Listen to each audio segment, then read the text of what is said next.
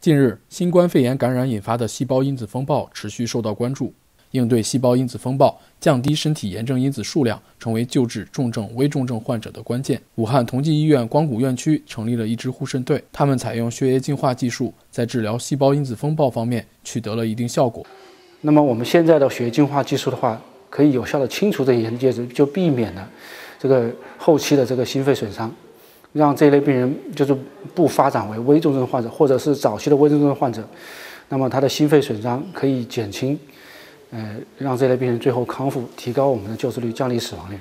新冠肺炎病毒侵入人体后，部分患者身体免疫系统释放大量的炎症因子，帮助身体对抗病毒。但当炎症因子超过一定数值后，会引起细胞因子风暴，造成心肺功能损伤，严重的会导致患者死亡。临床治疗中，一些重症患者往往会同时出现细胞因子风暴、呼吸困难、心肺功能衰竭等症状。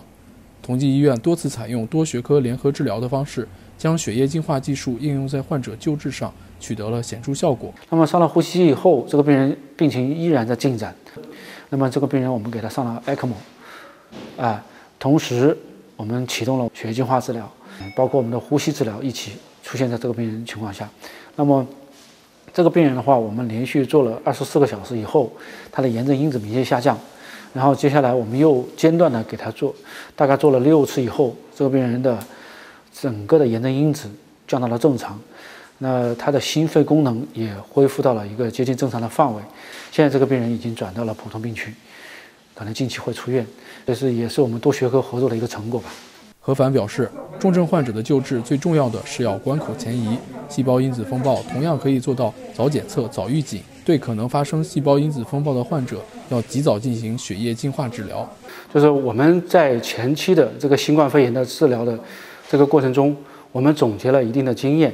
那么，我们认为，就说细胞因子和达到一定的水平，呃，白介六我们达到了四到六倍以上，我们觉得这个时候这个病人就很有可能启动炎症因风暴，后期导致心肺的损伤。那么目前的话，我们对于所有的重症患者，我们都会给他监测细胞因子和淋巴细胞功能的水平，说我们要更早的介入。通过这样的技术介入到炎症因子风暴。目前，同济医院光谷院区护肾队已经对八百余名重症患者做了细胞因子检测，其中三十四名患者已经接受血液净化技术治疗，八名患者已经康复出院。更多精彩尽在中国新闻网客户端。